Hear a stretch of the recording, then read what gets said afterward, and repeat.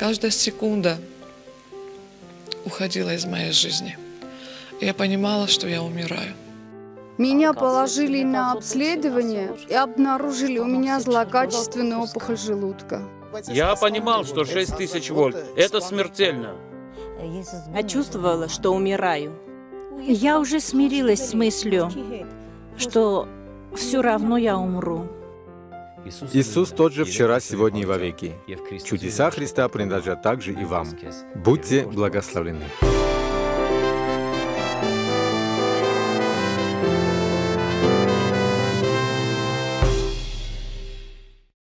Եվ այսպեսով սրերից մենք եթերում ենք, եթերում մի հաղորդում, որը կոչվում է Հիսուս Քրիստոսի հրաշքը։ Եվ սրերից ինչ կանցնենք մեր այսօրվա վկայության եսում Աստվածաշնչից մի տեղ կարդամ։ Գիտեք իմ ձեռքը ես բացել եմ Հովել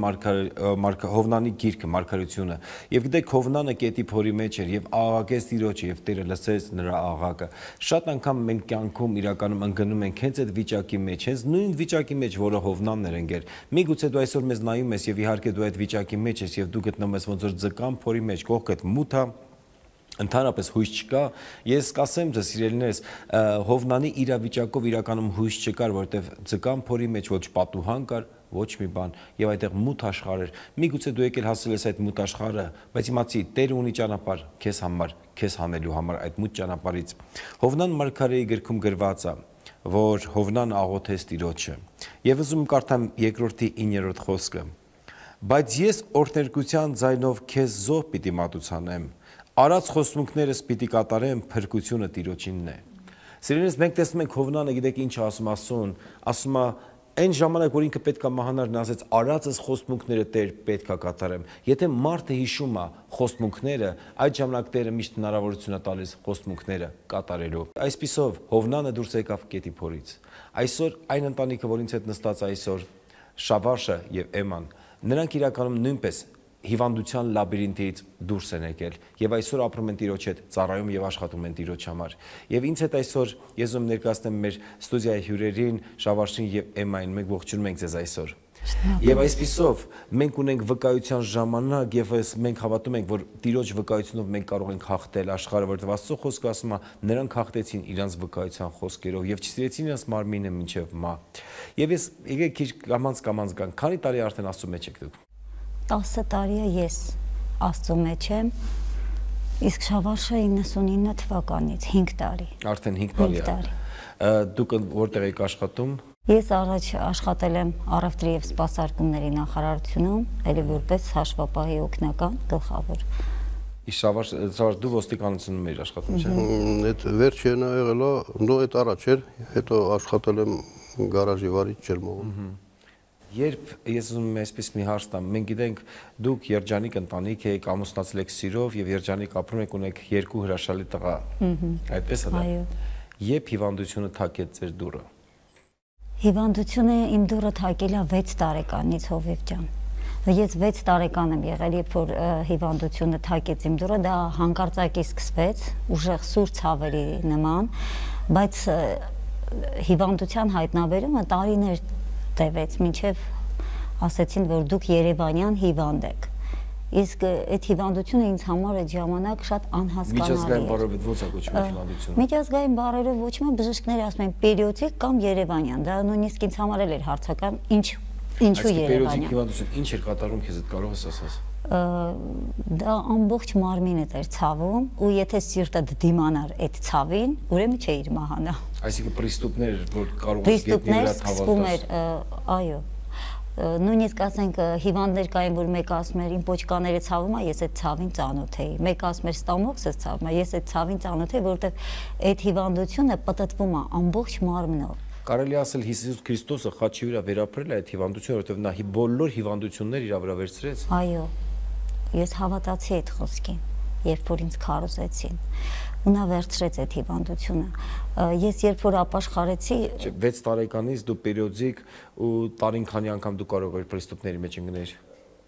Ինտերվալները տարբեր էր, կարող է մի անգամ լիներ 2 ամիսը 1, կարող է լիներ 4 ամիսը 1 եթե ինտերվալը շատ էր, ուրեմն այդ սուր ցավերը այնքան շատ էր լինում, որ ես մի շաբաթ կարող անկողնուց վեր չկենայի։ Դա ուժեղ տենդով էր, ջերմություն, միջև 40 աստիճան, զարանցանք, որ չէիր հասկանում դա ինչա կատարվում դա ահա որովհետև ես շատ ժամանակ մտածել եմ ո՞նց նկարագրեմ իմ հիվանդությունը նույնիսկ երբ որ շտապօգնության մեքենան էր գալի ես երեխայի ես աս, ես չէի կարողանում բացատրեմ այդ ցավը, որովհետև առաջին սուր ցավի ժամանակ հեռացրել են իմ կույրաղիկը։ Շտապօգնությանը ինչ կարող եմ, միայն ցավազրկել սրսկի ու գնալ։ Դա չէր օգնում։ Որտեվ ես իշխանով գիտեմ, իշխանով տեղյակ եմ այդ հիվանդության մասին, դա ամբուժելի հիվանդություն է։ Դա դա ամբուժելի է, դե սկզբից իրանք տարբեր բաներ են ասել, դիագնոզներ են տվել, էլ արյան ռակ, ուղղակի ամեն ինչ, մինչև երևի մոտ 12 կամ 13 տարեկանում հայրիկիս ասեցին, որ դա ամբուժելի է, ուղղակի հանեք Հայաստանից։ Դե իմ հայրիկը սկսեց տարեք Բայց ես չեմ մտածում, որ երբ որ Հայաստանից հանում են օգնում, որովհետև ես մի հատ տղա գիտեի Ռուսաստանում, այդ պատճառով այդ այդ խնդիրով եկել էր Երևանյան հիվանդություն, որ կոչվում է պերիոդիկ հիվանդությունը եկել էր ինքը Ռուսաստան, որպեսի չլինի ու հանկարծ պրեստոպը սկսեց ու ինչն էր հետաքրիր, որ այդ տղան ռուսերեն չգիտեր։ Չէր կարող բացատրել, ինչ ու տարե նարկոզ ընդվե կույրաղիկը հանդերացրել էին։ Իրանք մտածել են դա կույրաղիկն է, բայց իրականում իր մոտ պերիոդիկ է լինում էր այդ պրեստոպները։ Որովհետև այդ պերիոդիկը նման է բոլոր տեսակի հիվանդություններին։ Եթե պոչկաների հիվանդություն կա, դա դրան խփում է, որովհետև վերջում որ արդեն ես զգում եի, որ մահանում եմ որտեվ իմ մոտ արդեն վերջին ստադիան էր, դաժային վրա եկել էր ինքնասպանության փորձեր, որտեվ ես արդեն հոգնել էի։ Ու ես մենակ իմ աչքի առաջ իմ ընտանիքները ասում են ես ո՞նց անեմ։ Երեխաներս դպրոցից կգան ու կվախենան։ Մենակ ես դրանից էի ու արդեն հոգնել էի ու դա տևեց 30 տարի։ Երբ որ 13 տարեկան էի, դա հայտնաբերեցին Երևանյան ու հիշում եմ մի բժիշկ իմ հայրիկի ականջին փսփսում էր, ասում էր, «Այդ հիվանդությունը մեկ հрьяաների մոտ է» մեկ էլ հայերի։ հա, Իրականում այդ հիվանդությունը կա Հայաստանում ու Իսրայելում իրականում։ Ու ես մտածում էի այդ ժամանակ ովքեր են այս հрьяաները ու միշտ մտածում էի, բայց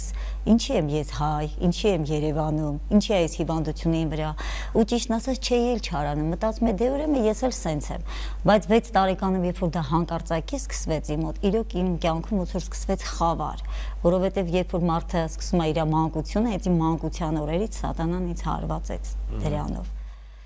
Իսկ քանի տարեկաներ որ ամուսնացար։ 19 19 տարեկան։ Այսինքն դպրոցում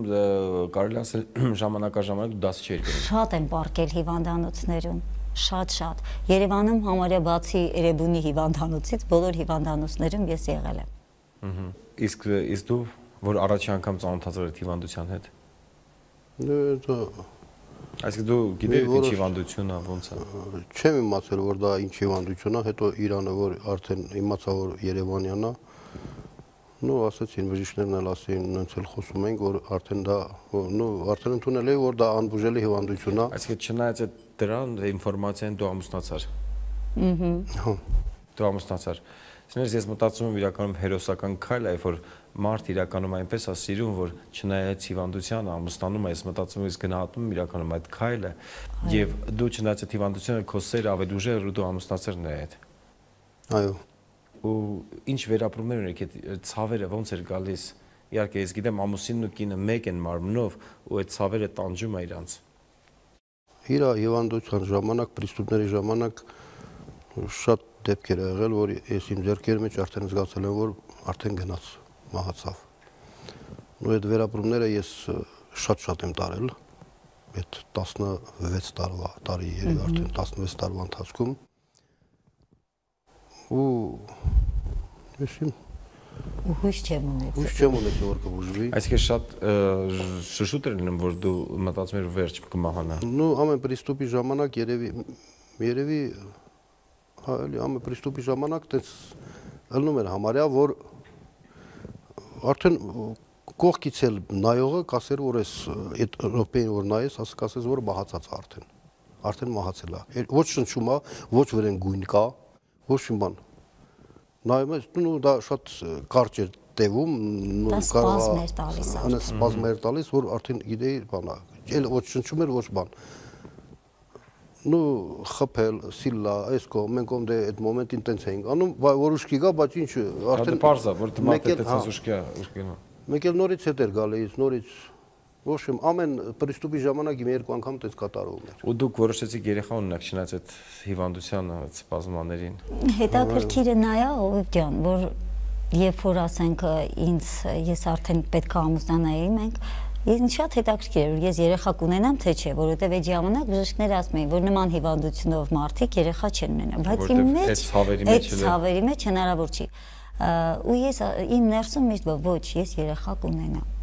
ու ես ներսդ մի ձայն կար։ Միշտ ներսից այդ իմ ձայնը եղել է, բայց ես չեմ հասկացել, դա երևի հենց Աստծո ձայնն է եղել։ Սրես ինչու եմ այս հարցը տալիս մի քիչ շեղվեմ, որովհետև նրա երեխաները, տղաները մեր համար մեծ օրհնություն եւ հզոր ծառայողներ մեր եկեղեցում իրականում է սաղոտում որ Տերը խոսացել է այդ ժամանակ նրանց հետ եւ ես հենց ամուսնացա նույնիսկ այդ երեխա ունենալու մենք խնդրեմ էլ չենք ունեցել ես անմիջապես մի երկու ամիս բայց այդ հիվանդությունը բայց այդ հիվանդությունը հիմա հետաքրքիրն է որ հենց այդ ժամանակ Աստված ինձ պահել է եթե ես հղիությամբ չէ չէ Ես 95 թվականին եմ ապաշխարել։ Ես չեմ հասկացել Տերը ոնց է ինձ բժշկել։ Ուղղակի դրանից այդ ժամանակ, երբ որ ես ապաշխարեցի, ես ուղղակի Աստվածաշունչը ուտում էի։ Լավ, հեսա կասնենք դրան երեխա ունենալու երեխա ունենալու ժամանակ ես պրիստուպներ չեմ ունեցել մի անգամ թեթև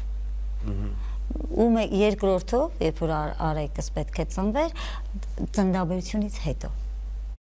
պրիստուպներս ունեցել։ Այսինքն Տերը այդ ժամանակ ոնց որ պահածում են քեզ։ Ամբողջ այդ հղիության ընթացքը դուք աշխատում եք, դու աշխատում ես նախարարությունով, դու աշխատում ես այդ ժամանակ արդեն որ Էման ապաշխարից ոստիկանությունում էր աշխատում, չէ, արդեն գարաժում էր։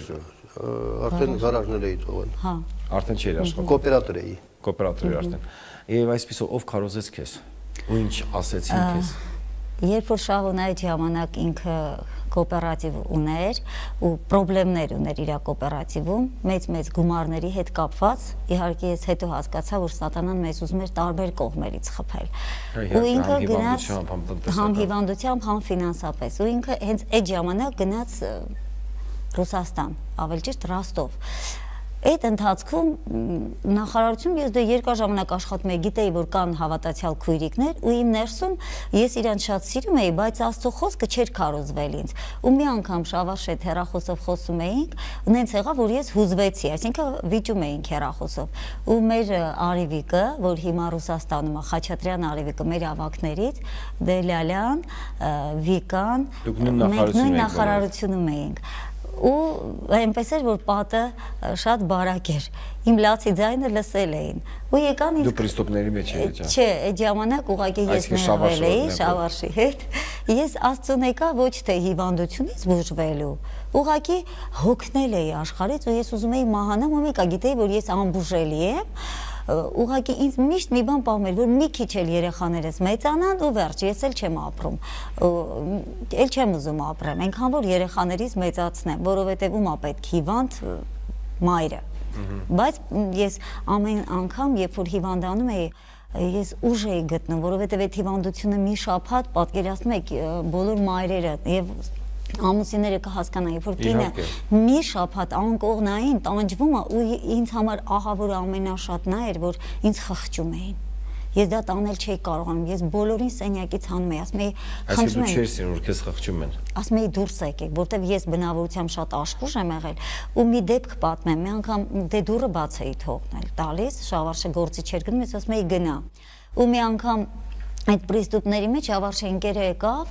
ես ասացի դուրը բաց է, ծեծես, ծեծես, դե չէի կարողանում ոչ վեր կենամ, ոչ խոսեմ։ Հարևանուհիս էր մեկ-մեկ գալիս, որ ինձ գոնե ջուր տա, նրան էլ ասում էի գնա, ես կպարկեմ։ Հետո ամենասարսափելին է, որ ես հետ էի տալու ու ես դա չէի ուզում, որ կողքից տեսնեն։ Ու այդ ժամանակ շավարշենկերը եկավ, ասես նայեց, ասեց ես լսել էի, բայց չէի պատկերացնում։ Ու դրանից հետո նենց եղավ մենք գնացինք նրանց տուն հյուր, ծննդյան օրներ իրա։ Ինքը այն ժամանակ դե աշխարհիկ բաժակ բարձացրեց ու ասեց ես ասես չէի պատկերացնում եմա որ դու այդ հիվանդությունից հետո հիմա ստեղ սենց ուրախ մեր ուրախությունը կուրախացնես կպարես եւ այլն ասեցի բայց ինչի հիվանդություն ասի ես չեմ փոխի քո ուրախությունը խանգարելու համար հետո ես ինչի շատ ժամանակ շատ տեղեր չէի ուզում գնամ որովհետեւ դա հանկարծակի էր սկսվում իմ մոտ Ես կարողա գնայի ծրագրավորված ես կարող այսօր առավոտ շատ լավ գայի աշխատանքի ու պահի տակ զգամ, որ արդեն վատ եմ։ Ես հենց զգում եմ վատ եմ, ես անմիջապես այնտեղ էլ մեր գլխավոր հաշվապան գիտեր անմիջապես ասում եմ մի հատ մեքենային տրամադրում Եթե տանը մարդ չկար կամ մայրիկենցս էի գնում կամ տուն, անավանդ որ երեխեքը փոքր էին։ Ես այդ ապրումները ես միշտ մտածում էի ո՞նց կարող եմ, ասենք, մարդ մարդկանց բացատրես այդ քո ներսի աշխարհը դու ամեն մեկին չէիր կարա բացատրես որովհետև դպրոցում նույն ձևի երբ որ դու հիվանդ էիր ուրիշների ես միշտ նախանձախնդիր եմ եղել որ ես պետքա ամեն ինչ սովորեմ ես երբ որ մի ամսով բացակայում էի ու դասի չէի գնում Ես ասում եի ո՞նց կլինի, մաթեմատիկան հետ էր մնում։ Հիմա բան ասեմ, քո մոտ է հիվանդությունը սկսեց 8 տարեկանից։ 6, դպրոց չէի գնում, արդեն պետք է այդ տարի դպրոց գնայի։ 6 տարեկանից սկսեց ու շարունակվեց մինչև 36 տարեկան։ 36 տարեկան։ Այսինքն 42 տարի, մոտ 30 տարի։ 30 տարի, այո, 30 տարի, իգլոր 30 դու այդ հիվանդությունը ուներ։ Ես ուզում եմ մի հատ հարց տամ քեզ, որ ինձ ինձ է շատ հետաքրքրում։ Հիվանդությանը սովորել կարելի է ընտելանալ հիվանդության։ Դա ահավոր բան է, հնարավոր չի ընտելանալ։ Իմ կարծիքով եթե 30 տարի դա կրկնվում է, դա հնարավոր է կյանքի ստիլ դառնա։ Մի պահ իմ մոտ եղել էր, երբ որ ասում եմ դե ես էլ սենց եմ բայց ես չէի պատկերացնում, որ ինչի։ Իվիճալը ձեզ մի բան ասեմ։ Այսինքն դու միշտ ձգտում ուներ բժշկվելու։ Բժշկվելու, հա։ Երբ որ 13 Լսեք ուշադիր, 30 տարի հիվանդ մարդը երբեք ձգտումը չի կորցել բժշկվելու համար։ Ես ուղղակի գերբնականին էի, ես արդեն բժիշկներից հիասթափվել էի որովհետև վերջում ինձ արդեն դեղեր էին տալի, որը թույն էր արտադրում իմ օրգանիզմում, դա կոլխիցինն է։ Ու հետո երբ որ մի հատ ուրիշ բժշկի մոտ գնացինք, այդ բժիշկը ասեց՝ «Սա այլևս չխմես, սա կքայքայի քո պոչկաները»։ Այսինքն դու երիկաններից կզրկվեի։ Կզրկվեի։ Ու ես դա մի տարի խմեցի, դա շատ թանկ դեղ էր այն ժամանակ Մեր ամբողջ ոնց ասում ֆինանսները գնացել է հիմնականում դեղերի, հիվանդանոցների, բժիշկների եւ այլն եւ այլն։ Մի կոտրակաշ դու հասնում էր հազիվ դեղերով սպասարկեր տունը։ Ну, էլի փառք Աստծուն, որ Աստված երևի ես չէի ճանաչում Աստծուն, բայց հասցնում էր ամեն ինչ։ Աստված քեզ ճանաչեց։ Ու ճանաչում էր ու լավ հասցնում էր։ Մի բան հարցնեմ, ու եւ այդ անznավորությունները եկան քեզ քարոզեցին։ Քարոզեցին, ասեցին՝ մի վախեցի, Աստված քեզ քո ինչ հարցով ես դու նեղացած, Աստված քեզ կբժշկի։ Ես ասեցի, եթե Աստված քեզ կօգնի, ժամանակ իրեն գիտեին, որ ես հիվանդ եմ։ Ես ասեցի, դե եթե Աստված կօգնի, ինչի՞ չի բժշկում։ Ինչ եմ արել։ Դու սովորական այն ինչ որ մարդկանց քարոզում ես, ում եմ ինչ արել, որ ես հիվանդ եմ։ Մարդիկ ասում են ասեց ու մի խոսքով իրանք երբ որ ինձ քարոզեցին իմ սրտում մի հատ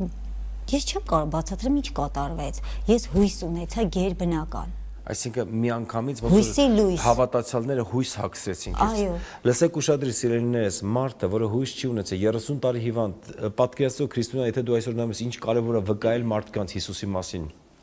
նա մի անգամից հույս է հագել հույս դեպի բժշկությունը, հույս դեպի փրկությունը։ Ու երբ որ այդ ժամանակ փաստորեն երբ որ քարոզում են իմ աշխատանքը ծանր էր եւ պատասխանատու, հիմա իմ ներսում մի բան կար, որ ես անընդհատ վազեմ նրանց մոտ որ որովհետև խնդրեմը կար ու ես կիսվում էի ու փառք Աստծո իրանց համար այնքան ճիշտ քրիստոնյաներ էին, որ իրանք ամեն վարքյան ոնց որ հենց ես որ ես նոր էի ապաշխարել, նրանք ինձ դժողքի բերանից բարձրացրեցին։ Բարձրացրեցին ու այդ ժամանակ, երբ որ նոր էի ապաշխարել, Փաստորեն ես եկա եկեղեցի ու մի անգամ Հովիվ ջան դու քարոզում էիր ես այն աստիճանի որ ասում էի Հիսուս դու էլի չօգնեցիր, խնդիրները ուրիշ էին, դեռ պրիստուպը չէր սկսվել։ Ու այդ ժամանակ դուք քարոզեցիք, ես ամենավերջում էի ու լաց էի լինում ու դու ասեցիր բավական է, Հիսուսին կանչում ես, բայց սատանայի պոչը բռնել ես։ Ուր ես գնում, երբ որ դու տեն բարձր ասեցիք, ուր ես գնում, անկախ ինձանից ինձ թվաց այդ պոչը ձեռքիս է, ու ես ես թողեցի։ Վա, այսինքն դու զգացրին 30 տարի բռնած պոչը։ Պոչը։ Ու ես ես թողեցի։ Ու դրանից հետո սկսեց բժշկություն գնալ։ երբ որ սկսեցիք բժշկության մասին խոսել պատկերացրեք 30 տարի ինչ որ բան բռնած է եղել իզուր չի որ հիվանդությունը դա մենք կոչում ենք ոգի իրականում հիվանդությունը ոգի է եւ ոչ մեկին չի կարող նա վերցնի, եթե մենք վերցնենք Հիսուս Քրիստոսին, նա ասում է 30 տարի տանջվում էր, բայց եկեք մեկ օր ծառայության ժամանակ մի բան զգաց, որ ինչ որ մեկի պոչն ա բռնել ու հանկարծ ձեռքերը բաց թողեց։ Երբ որ ես sense ֆիզիկապես իրոք ձեռքերը sense վախեցած բաց թողեցի, ասի, «Էդ ինձ է ասում իմ հովիվը»։ Ու ասեցի Տեր իմ Աստված, օգնիր ինձ, ես ինչից բռնվեմ։ Ու դուք էլի բեմից ասիք Հիսուսից բռնվի։ Այդ ժամանակ երբ որ բժշկության մասին էր քարոզվում, ես առաջ չեկա, հովիվ ջան։ Ես ես մի ամիս էր գալիս եկեղեցի ու ասեցի Տեր իմ Աստված, սրանք բոլորը մարդիկ են։ Ես մարդկանց մոտ չեմ գնա։ Հիմա իմ ոչ մի տեղը չի ցավում, բայց երբ որ իմ պրիստուպները սկսվի, ես այստեղ չեմ կարա լինեմ։ Ես քեզանից եմ բռնվում։ Երբ որ դուք այդ խոսքը ասացիք, ես հասկացա, որ հենց այդ ժամանակ եկել է իմ բժշկությունը, բայց դա ես հետո եմ հասկացել որ իմ բժշկությունը այդ ժամանակ եկել է, որովհետև դրանից հետո ես սպասում եմ, բա ինչի չեմ հիվանդանում, բա ինչի չեմ հիվանդանում։ Այսինքն նստած տունը սպասում էր քո այն հին հիվանդությանը։ Սպասում էի, բայց դա չկար։ Ու մի անգամ Երբ որ ինչպես միշտ Երամսյակի վերջ էր, ես պետքա հաշվետվություն տանեի, մենք այդ ժամանակ հաշվետվություն տանում ենք ֆինանսների նախարարություն ու արագ-արագ անում եմ որ տանեմ ու զգացի որ վատ եմ ու դա վերջի օրներ ես պետք է այդ օրը հասցնեի տանեի ու անմիջապես վազելով իջա մեր քրիստոնյա քուրիկի մոտ երրորդ հարկ կոլեգիայի քարտուղար քարտուղարի մոտ ասի վիկա ես վատ եմ ոնց որ այդ հիվանդությունը հետ է գալիս ու գիտեք ինչ ես այդ ժամանակ ոչ ու ինքը ձեռքեր դրեց իմ վրա հենց դուրը փակեցինք սենյակում ու սկսեց աղոթել ու գիտեք ինչ որ ինքը աղոթեց Հովիվ ջան իր ամեն մի աղոթքի խոսքը մտավ իմ ներսը ու մինչև հիմա հիշում եմ ասեց սատանա դու մաս չունես նրա վրա եւ Քրիստոսի արյունը ազատել է նրան քո ջանկերից հալելույա ու երբ որ այդ խոսքերը նա աղոթքի ժամանակ արտասանում էր ես արտասվում էի ու ես ասացի ես սկսեցի չհանձնվել այդ ցավերին որովհետեւ երբ որ պրիստուպը սկսում էր ես անմիջապես հենց տեղում նստած սկսում էի կծկվել որտեվ արդեն ինչ է կատարվում սպազման, որ տարես է, չի գործում քո լյարդը, չի գործում քո ստամոքսը, չի գործում քո աղիները, ամեն բան սպազմա տալի։ Հետո վերջում սիրտը, ու սիրտը չի դիմանում այդ ցավին։ Երբ որ ես սկսեցի ասի միևնույնն է, ես այս հաշվետվությունը երամսյակային պիտի հասցնեմ, ու ես խայտարակ չեմ անի իմ անունը։ Ու տենց իջա, ու մանավանդ արդեն որ գիտեին, որ ես էլ եմ այդ հավատացյալների հետ ու մի սովորական սենց հարցակում, ինչպես նրանց վրա արդեն սկսվեց նաև իմ վրա, որ սրանք հավատացյալներ են դարել եւ այլն եւ այլն։ Ու ես իջա, այդ ժամանակ տրանսպորտը ահավոր էր ես պետքա ոդկով իջնեի, ասեցի ոդկով պետքա իջնեմ ու դավանելով ու ես չհասկացա այն խոսքերը, որ աղոթքի ժամանակ մեր քուրիկը աղոթեց ու ասեց, ես այդ խոսքերը ամբողջ Աբովյան փողոցով միջև հրապարակ արտասանելով գնում էի ու սենց բերանս փակել էի, որ ժողովուրդը չտեսնեն, ասեն տարօրինակ է։ Երբ որ հասա, դե ֆինանսների նախարարության դուրը շատ ծանր է ու երբ որ ես ձեռքս դրեցի, որ այդ դուռը բացեմ ու մտածում եմ ոնց պետքա հասնեմ սենյակ, մի բան ինձ բաց թողեց ու ես զգացի շնչը ու մի ժպիտ ա եկել մեջս ասում Տեր Աստված հիմա պետք է անդեղ ես թույլտվություն վերցնեմ որ բարձրանամ երկրորդ հարկ հիմա գնացել եմ ասում եմ ձեզ ի՞նչ ա եղել ասում եմ ոչ մի բան ուղակի վատ էի հանկարծակի լավացա ու տենց բարձրացա հիմա նստել եմ այդ հաշվապահի հետ ուրախությունս չեմ կարողանում կիսեմ այդ կնոջ հետ ասում եմ քեզ ինչ ա եղել ասում ես ինչ շատ լավ եմ զգում մի խոսքով ես հանձնեցի ու հաջորդ օրը եկա երեխեք մոտ երեխեք ասում եմ ինքը ուզեց գա ու ես հասկացա որ դա սատանան է որ նա ուզեց գա բայց աստված թույլ չտվեց որովհետև ես հավատացի ու ես այդ ժամանակ երբ որ աղոթքները ես ģերբնական կպա Հիսուսից Հովիվ ջան Հիսուսից ես ոչ մեկից ես չէի նայում մարդկանց ուղղակի ես նոր էի ապաշխարել ու այդ ամենը իմ մեջ հետո երբ որ սկսեցի ուսումնասիրել Աստծո խոսքը Աստծո խոսքի մեջ տեսա որ իմ նման շատ մարդիկ են եղել ու ես արդեն սկսեցի ներսից ոնց էի դավանում բոլորին իմ բարեկամ անգամները շատերը մինչև հիմա ասում են ոնց թե հնարավոր չի որ դու լավացած լինես այսինքն արդեն ուշուշ ենք տեսնում հավատացյալ ես երևի Եվ այսպեսով քանի տարի արդեն անցել։ Եվ արդեն ուղիղ 10 տարի։ Ուղիղ 10 տարի։ Ես առողջ եմ։ Գիտեք, 10 տարի հիվանդությունը որ կրկնվում էր 3 ամիսը 1 10 տարի էլ չի վերադարձել։ Շարժ դու ինչ կվկայես այսի բժշկության մասին, ինչ վերապրեցիր դու, երբ որ դու տեսար իրականում այդ հիվանդությունը չկա ես անեց ժամանակ էր արդեն որ Այսինքն դա առիթ եղավ քեզ Աստծուն գալու համար։ Մետ եմ ասում որ իմ մեջ արդեն ուր ուր ասում էին որ կարող այնտեղ բուժեն տանում էինք։ Հհհ։ Քիշեմ ենք տարե մի հատ մեծ կիներ ասին նա կբուժի մեծ տատիկեր։ Տարել ենք դա ինչ չարչարանքներով մի խոլ գյուղ էր։ Ոբշեմ ասում էին ես ինչ գյուղում բան կա, մեկը կա